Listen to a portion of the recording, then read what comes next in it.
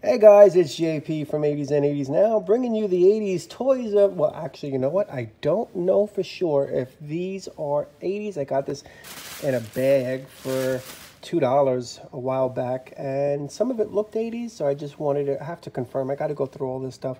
Some of it, it can go either way. It can go 89, possibly 90, 91, 92. Got to look at, look, caboodle colors. Isn't that so cute? Anyway, so you guys will probably know more than me, you Barbie aficionados.